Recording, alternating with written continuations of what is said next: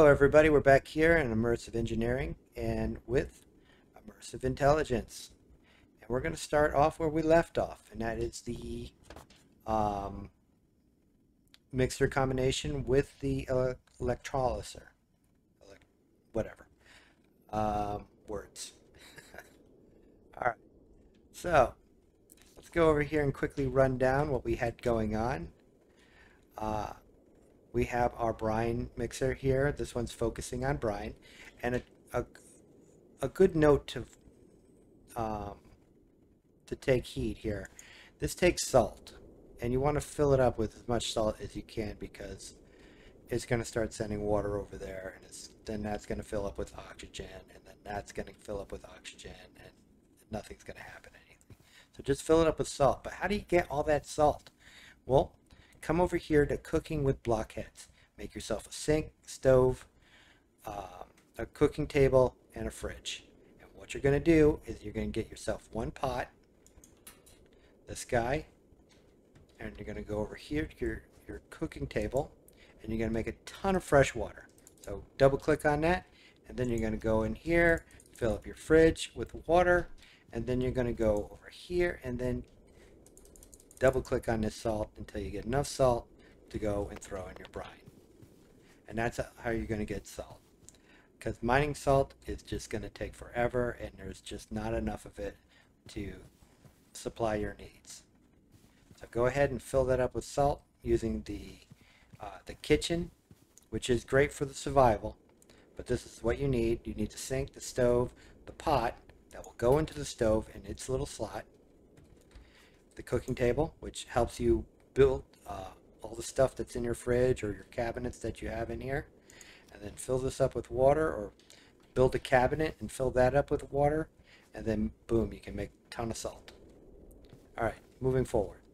So what do we do with this etching solution? Well, we are going to make a chemical bath.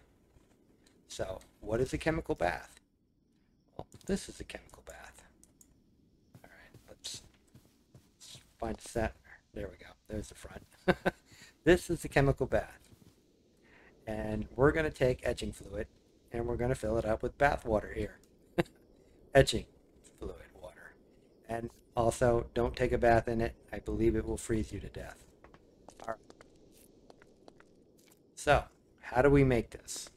Well, in the engineering book, we have our typical menu. It's in heavy machinery. So if you go over here and you're in the, the book, click on heavy machinery, go to chemical bath, and there you go.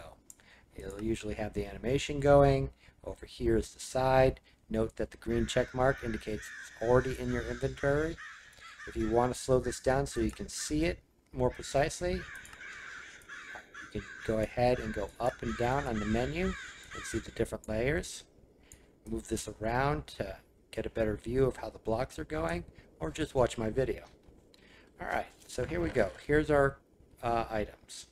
11 light engineering blocks, 7 heavy, uh, 1 redstone engineering block, uh, 2 blocks of steel, and 2 sheet metal. And these are, I'm sorry, 3 sheet iron sheet metal. All right, anyways, okay.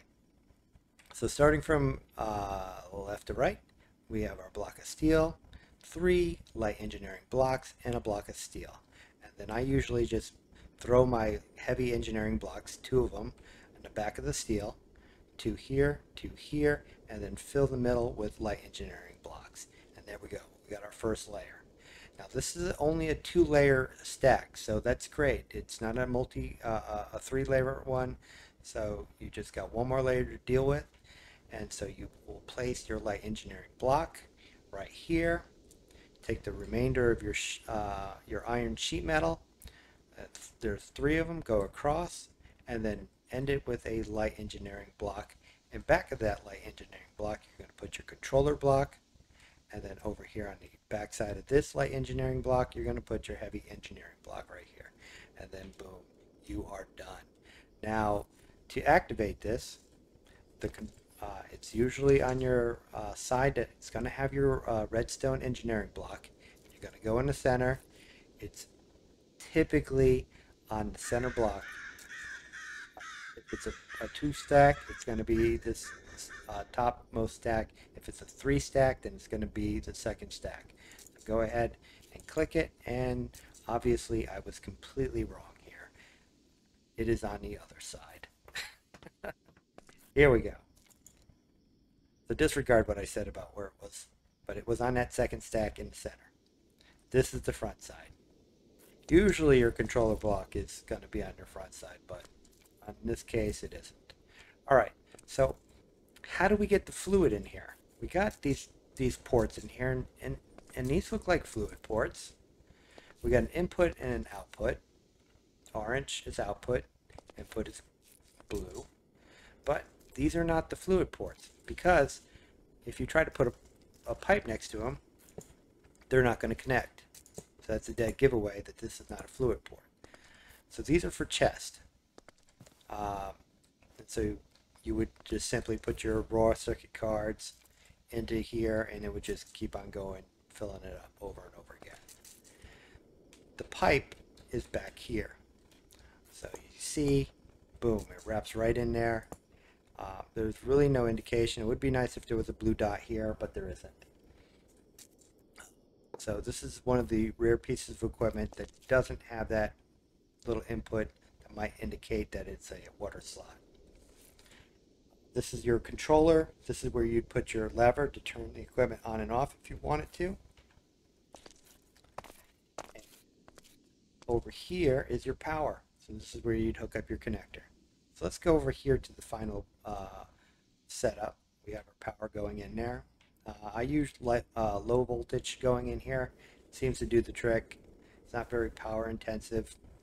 It's got a great animation. Once again, you have the ability to invert this.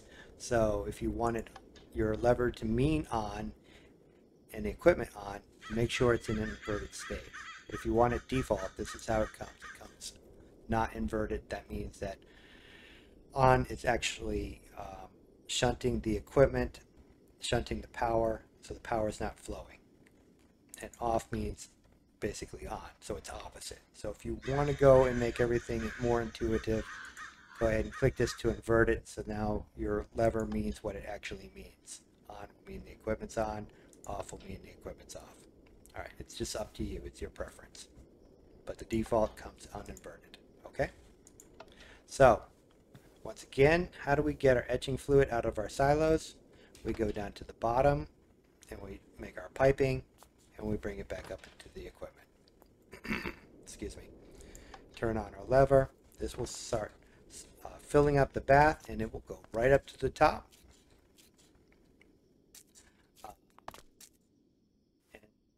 All you have to do now is start putting in uh, your raw circuit boards to have them etched. You have a few different types. Um, see, you have your basic. so basic. let's see, what's the difference there? You get your advanced. So you got your basic, your advanced, and your processing card, which is the purple one. Uh, for the neat gadgets that are going to go on your uh, your armor, your light uh, engineering armor, you're going to need the basic and you're going to need the advanced, and that's about it. That's all you're going to use the bath for. So let's go ahead and show you the cool animation that's going to go on here uh, by using the uh, the equipment. I usually just stuff them in there because I'm only throwing a few of them in there it's not really a, a huge thing, but it grabs them out of here. Excuse me. Then it just slowly rolls it through the equip uh, the bath, and this basically puts the solder on the card. So now they're etched.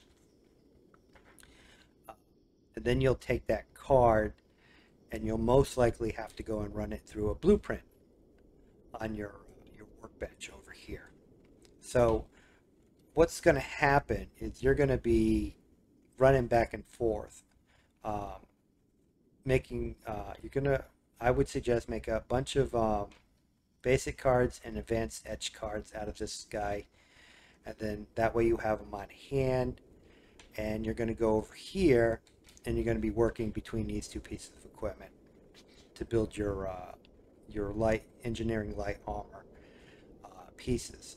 And um, so this one takes schemas or schematics. This one takes blueprints. And both of them work off of each other to build the next tier equipment.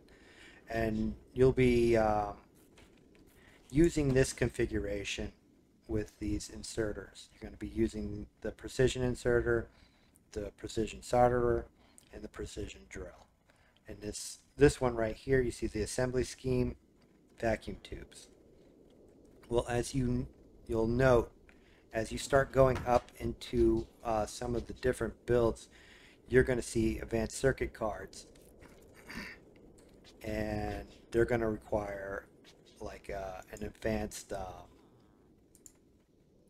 uh, processor card or electronics card, and that's going to require a schematic and the precision equipment that we just seen.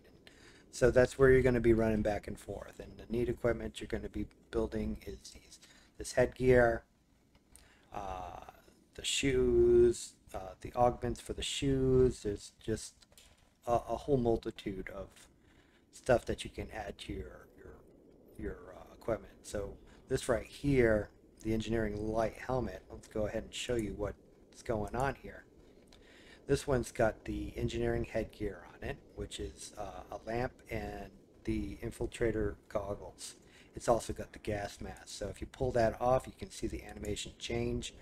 If you look at the table, that's really cool. Look at that, right on the table. So this is really steampunk. It's pretty awesome. And, you know, I had to go and and watched the. Uh, I had skimmed through the SBV, which is uh, the playthrough that's on the ModPack website itself at CurseForge, uh, and I had to watch it. He had quickly did this, and I had missed it the first time, and I was wondering how do you modify your armor? Is there an armor workbench? But no, it's the engineering workbench. It it that's where you put your your plates on. That's how you modify your your all your gear uh, for your armor and stuff. And so uh, it looks pretty rad. Um, right now in my world, I have pretty much modded everything out. I think the only thing I'm missing is the flippers because it requires rubber and I haven't made rubber yet so I'm still I haven't found a uh, a rubber sapling tree yet uh, there's been a few tornadoes, and uh, looks like these guys are the first to go. Uh, so, anyways, um, so they're pretty decked out. Uh, right now, I only got steel armor plates. I haven't gotten to composite because, once again, these guys require um, three, um, uh, a, a piece of rubber. So, you can stack three on each of the armor. So let's, I'll go ahead and show you how that works. So you see right here, our armor value is 4. We can put these plates on there, up to three of them. And let's go drop all three of them on there. And you'll see, boom, from 4 to 3, we added, we now got 7. And so in the video, you'll notice that um, he has uh, two armor bars on there. And I was wondering, how did he get there? What magical armor was he wearing? And it's just simply upgraded light engineering so this stuff is, is just pretty badass. So you can see right here, let me go and put it on my face. There you go. This is just pretty cool. Uh, and I, am assuming this will let me walk into sulfur clouds or coal dust and stuff. And um, it looks like the uh, uh, the night vision is working. I'm not sure about the infrared yet.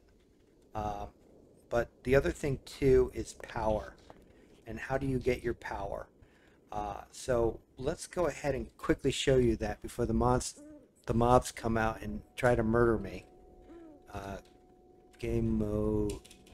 Come on, I can I can do this in my reclined position here. Right, that's gonna be one of those days. I notice if you toggle these on and off, it it helps with the heat. But I'm in building, so I'm in trouble. So you'll have this guy right here, and this you can put them on your baubles. So this is perfect. But if you upgrade this to the uh, the immersive intelligent one, which holds a million flux, it can only be placed on your your main armor piece, and and you're losing up to 11 points of armor. So I would suggest have this guy build the the larger backpack, uh, which is uh, where is it at? Mm, Can I have an image of it? Am going to live long enough to show you that image? These are all questions that I have. Uh, it's in here somewhere. Uh, maybe it's in just an immersive. Let's see if the backpack is in there. Back, backpack. There you go. This guy. So this guy, unfortunately, only fits there. It will not fit on your bob bottles, uh, bobbles. So you see, um, and so even in the uh, tech, it won't fit there, but here. The space age, same deal. It will only fit here. So you're really missing out on your armor, uh, and, and that's a little bit problematic. I, I don't know.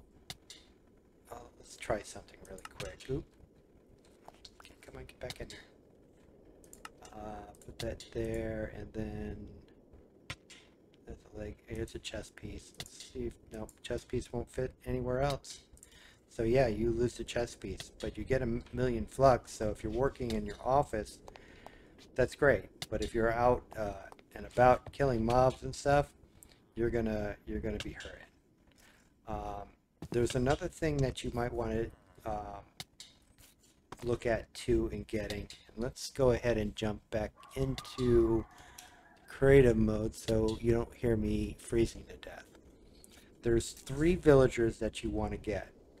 This guy will get you the arc blueprint. This is crucial for your arc furnace because you won't be able to um, make the advanced electro plates without the alar- uh, arc furnace. So that's a necessity to have in your build before you start adding a lot of these magical uh, gadgets to your light engineering outfit. So get him. He's going to give you uh, some alloys and some components that are pretty handy to buy. They're a little pricey, but um, you get a drill bit. That's great. Um, I still use a, a hammer to, to do all my mining. The other guy you want to get is the structural engineer. He looks just like him. You'll find him around the red brick buildings, and he will give you steel scaffolding. You can then take those, buy those steel scaffolding, throw them in your arc furnace. Boom! You've just replenished all your steel needs for other builds. It'll make nuggets, but it's one for one. So the next guy you want to get is the blacksmith uh, alloy guy. Get him. He's, he's in a black vest. He looks like the armorer, the smith, um, the tool guy. There's going to be one for the uh, alloy. He's going to be able to sell you for one emerald four coal cokes. That's going to supply your coal coke needs. And then just grab, get some like a li- uh, liber- uh, a library guy, or a shepherd, or maybe uh, I don't know if a Fletcher's in the game yet, but you want to get uh, another villager to to get your emeralds up. Uh, that way you can you can buy your coke, you can buy your your steel needs, and and you'll be golden because you don't want to be making coke to make steel, uh, just to turn around and run out of um, rods for your your arc furnace. So buy them. All right, so there you go. I hope this has been uh, helpful. Uh, if there's something that um, you want to see that's a little bit more in detail, uh, leave it in the comments. Um, and like I said, these are the only ones that you need for right now to build any of the gizmos on your your light armor. Um, the other guys, uh, there's a, a, saw, uh, a welder, and something else. Uh, and those are for for I think the space age. I think if, if I'm right, they make the wait the silicon wafers and uh, Ignatz, uh, and something else.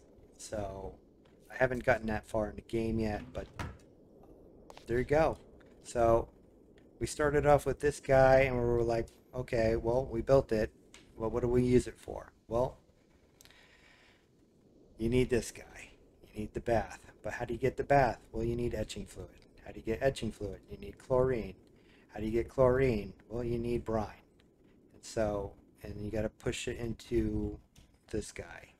And that will separate the two uh, materials. And but then you go, oh no, I can only I only have so much salt. Well, use the kitchen to get your salt.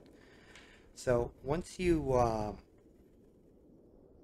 you get up to this stage, and this is this is a stage you're also going to have an arc furnace. I, I didn't go into the build with that because there's a lot of great videos that already have the arc furnace that are built. Uh, I can't think of the guy's name. Um, shoot, I look at all his videos, and it would be a shame if I did not do a shout out with him. Let's see. Uh, let's go. Give me one second here. Um, immersive engineering tutorial. Here we go. Um, mischief. Mischief of mice. He has made a whole bunch of uh, how to uh, immersive engineering tutori tutorials. and of course, the maker of the mod pack for the SP SBV, which is uh, Skeeves, I think. I'm probably pronouncing that wrong. Um, let's see. Yeah. Um.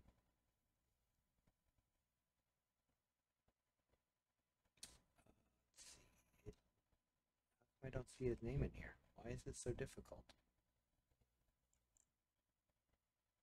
Skeeves. Uh, uh, Sheaves.